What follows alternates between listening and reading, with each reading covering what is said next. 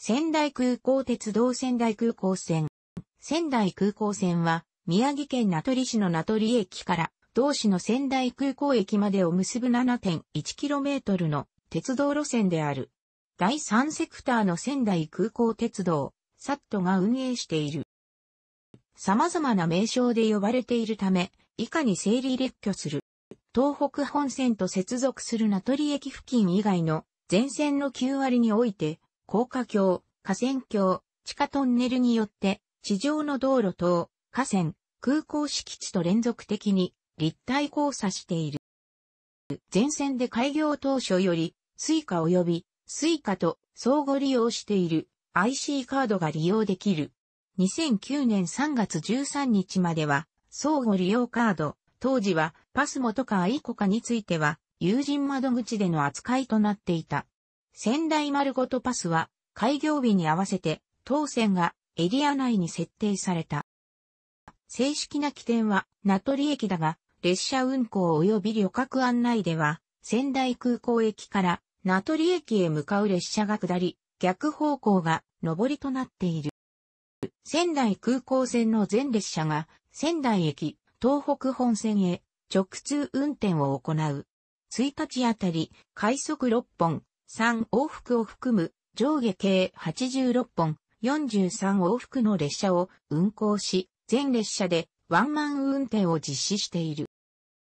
開業以来、定期列車及び臨時列車において、仙台駅以北及び名取駅以内へ直通する列車は設定されていないが、東北本線小五田方面及び仙石東北ラインの一部の列車は仙台駅にて同一ホームで乗り入れできるよう便宜が図られている。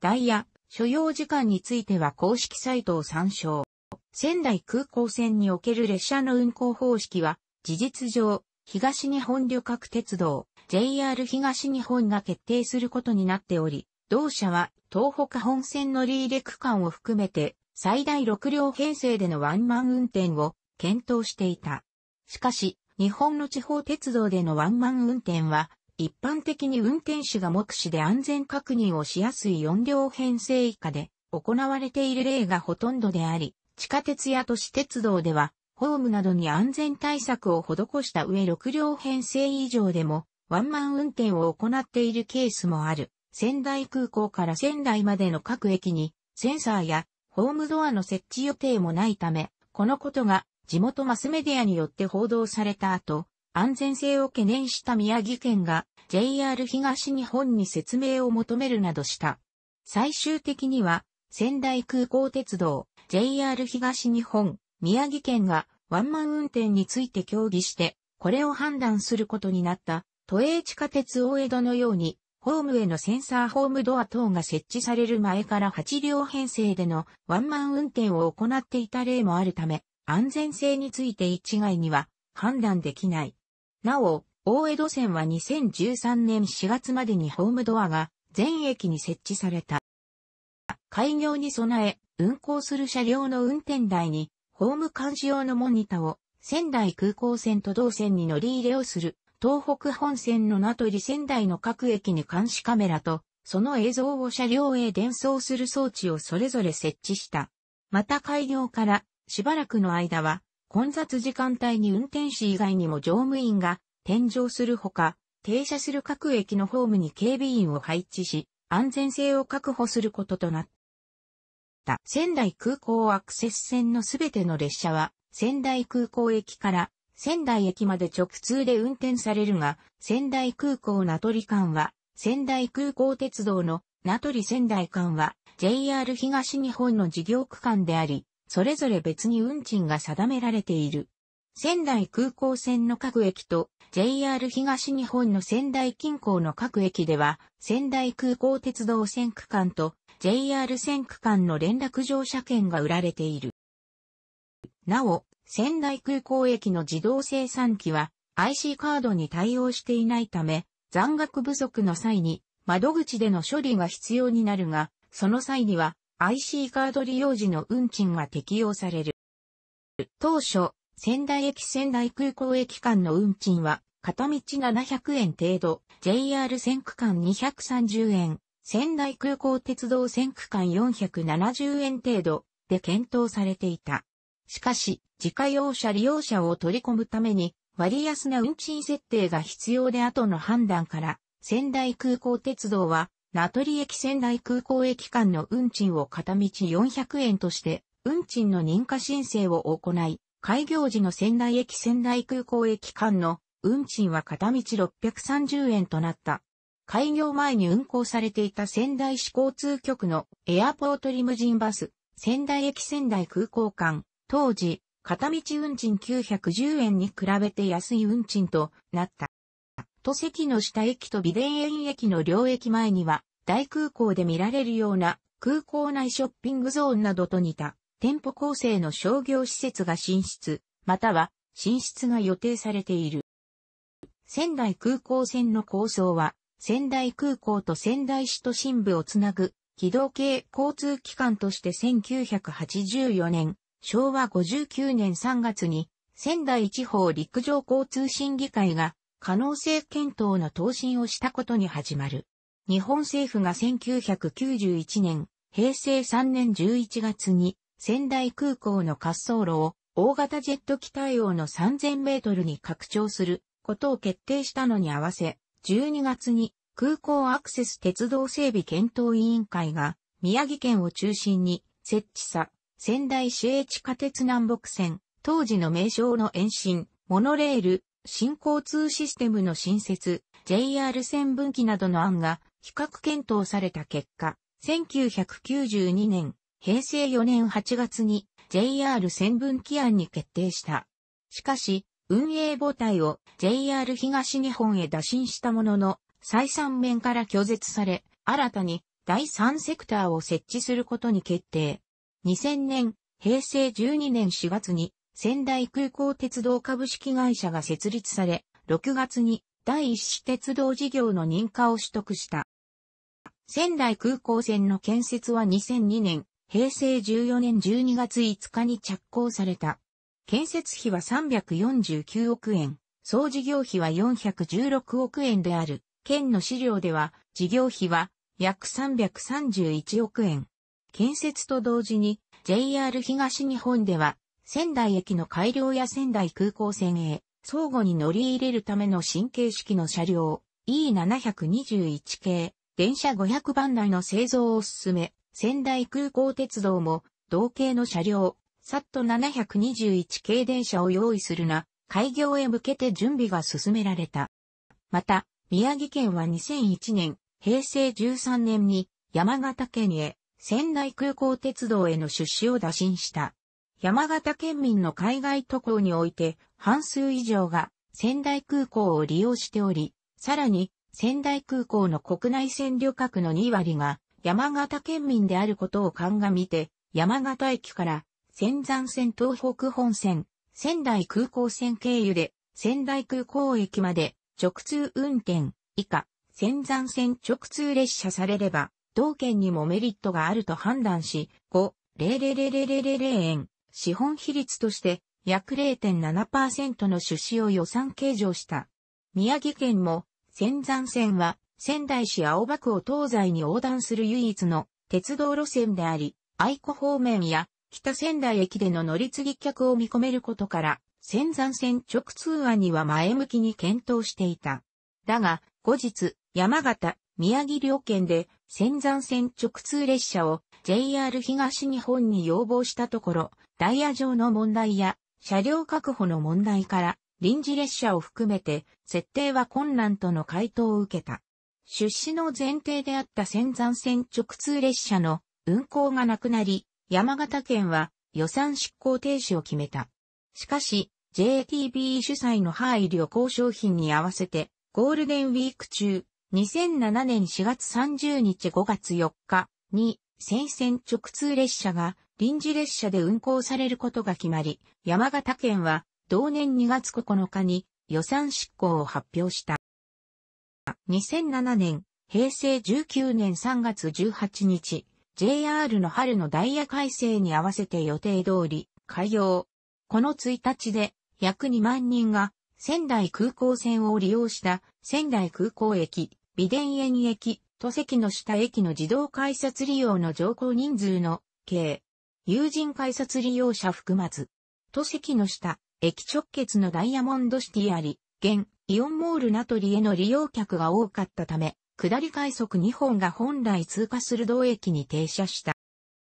開業1年目の利用人数は、目標乗車数の7割程度であり、1日あたりの利用者も目標1万人のところ、7000人台に止まった。仙台空港鉄道では、利用客を空港利用者、沿線から仙台への通勤利用者、沿線ショッピングセンターなどへの買い物利用者の3本立てに設定していた。空港利用者と買い物利用者は、目標通りの乗車率となったが、沿線の開発が始まったばかりであり、通勤利用が低迷していることが目標を達成できなかった主要因とされる。開業当初は、仙山線との接続の悪さ、仙山線列車が仙台駅7、8番線に入線するのと同時に、仙台空港線列車が同駅3番線を出発が指摘されていたが、2008年、平成20年3月15日ダイヤ改正では、青葉区、北仙台、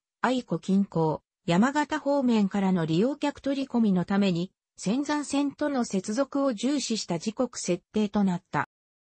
1967年、昭和42年には、仙台、名取漁師を含む千円地区三市一町一村での合併協議が、1991年、平成3年と、1994年、平成6年から1996年、平成8年にかけては、仙台、名取漁師での合併議論があった。このうち、1991年、平成3年の合併議論が、仙台空港アクセス鉄道構想と特に関係が。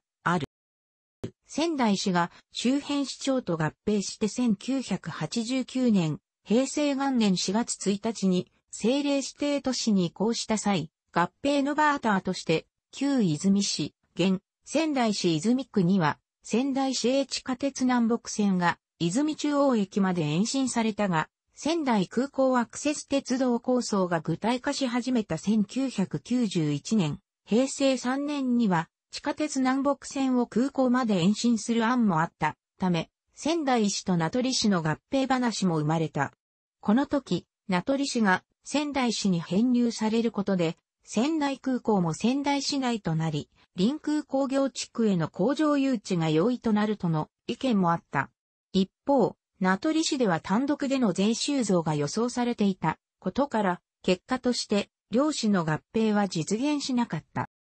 2011年、平成23年3月11日に発生した東北地方太平洋沖地震、東日本大震災は仙台空港線にも重大な被害をもたらし、特に仙台空港駅及び空港トンネルは津波により甚大な被害を被った。鉄道の防音壁は各所で倒壊、崩落が見られ、空港駅1階部分は躯体だけを残し、内部はほぼ壊滅状態となった。レールも一部に歪みが発生し、路盤のコンクリートも破損した。車両は空港駅及び仙台駅に停車していたので大きな被害はなかった。復旧費用は30億円。4月2日から名取駅、美田園駅間、名取駅仙台空港間において、朝夕を中心に代行バスが運行された。また4月21日より、仙台駅東口仙台空港間の臨時のシャトルバスを一般社団法人宮城県バス協会が運行開始した。7月23日より、名取、美田園間で運行が再開されたが、仙台空港駅に4両に編成が停車している。影響で70%ほどの便数で運行した。また代行バスの運転区間が美田園仙台空港間に短縮された。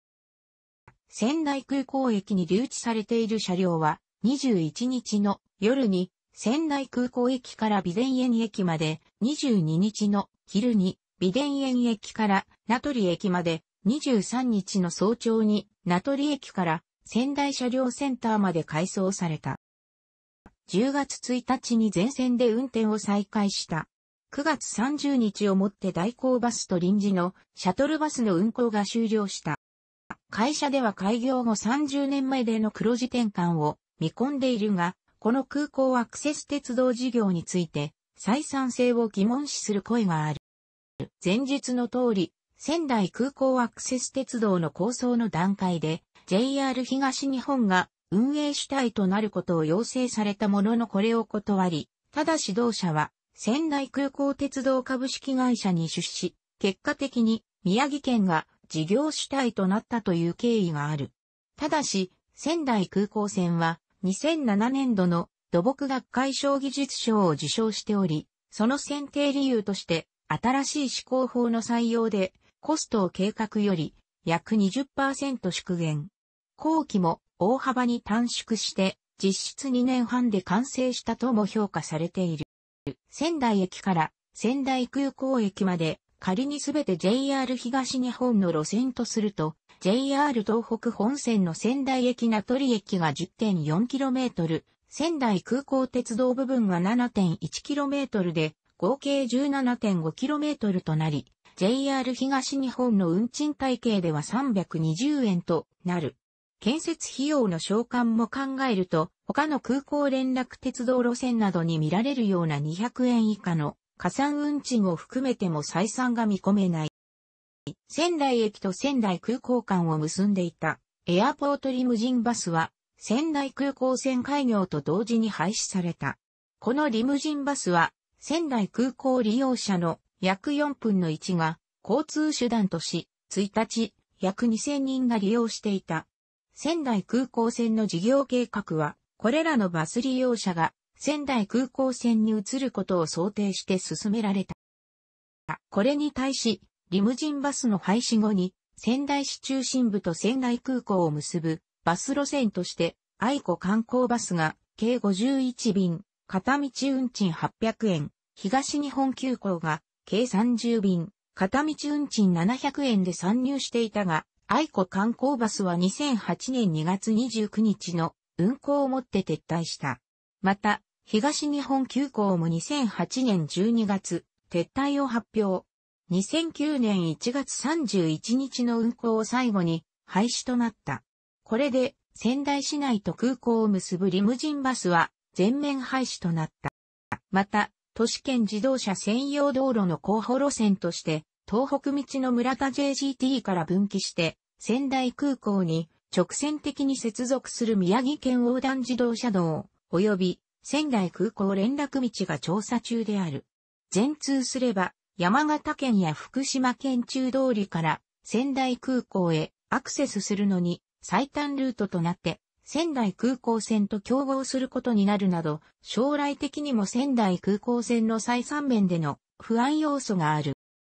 なお、宮城県横断自動車道に並行する道路として、県道25号、岩沼沢王線及び県道258号、仙台看護師線の通称、相島バイパス部分があり、仙台空港連絡道と並行する道路として、県道20号、全空港線がある。25号岩沼沢王線の村田岩沼間は、高環丘量を超える山岳道路258号愛島バイパスは自動車専用道路2006年度完成20号仙台空港線は片側に車線の一般道となっている。楽しくご覧になりましたら、購読と良いです。クリックしてください。